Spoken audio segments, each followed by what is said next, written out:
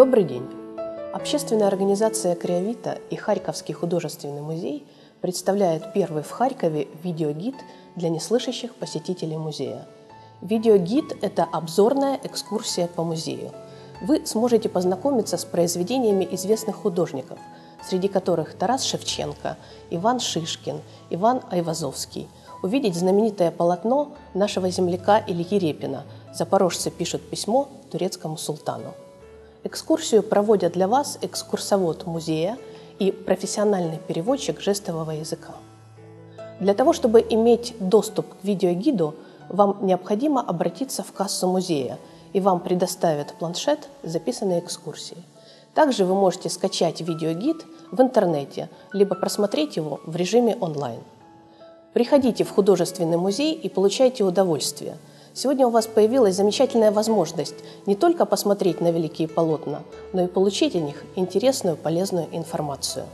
Мы абсолютно уверены в том, что благодаря видеогиду вы обязательно полюбите Харьковский художественный музей и станете его постоянными посетителями. Добрый день! Я рада приветствовать вас в залах Харьковского художественного музея. Наш музей удивительный. Его история – интересно, уникально и драматично. Коллекция наша формировалась более 200 лет. В 1805 году Василий Назарович Каразин, основатель Харьковского университета, купил самую первую прекрасную коллекцию западноевропейской графики. И вот отсюда начиналась история нашей коллекции. Его пример был заразительным, и поэтому воспитанники этого университета – такие как Алферов, Бецкий, они приобретали произведения искусства за рубежом специально для этого музея изящных искусств.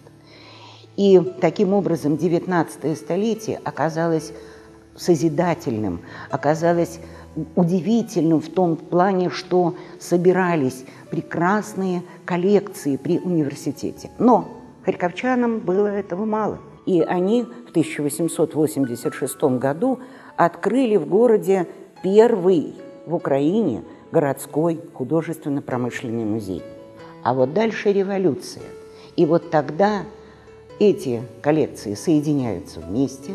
Образовался социальный музей имени Артема, который должен был показывать, как загнивает буржуазия и как расцветает рабочий класс. К началу Второй мировой войны Харьков обладал самой лучшей коллекцией изобразительного искусства среди всех провинциальных музеев, если не считать музеев Москвы и Ленинграда.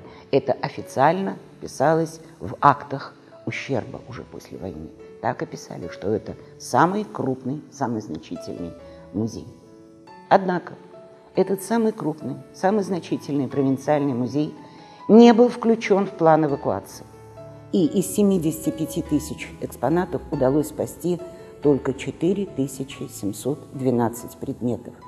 Буквально за 9 дней до того, как фашисты вошли в город, наш директор Прокоп Васильевич Кривень, он, несмотря на угрозы расстрела, его обвиняли в паникерстве, он все-таки сумел выбить один вагон для этой колоссальной коллекции. Один. А нужно было хотя бы 9. Тем более, что в это же время сюда привезли из Киева произведение Тараса Григорьевича Шевченко. И наш директор спас это все творческое наследие. И я очень рада тому, что благодаря вот этому проекту общественной организации «Криовита» этот музей становится все более и более доступным для всех, кто придет в эти залы и воспользуется вот этой программой.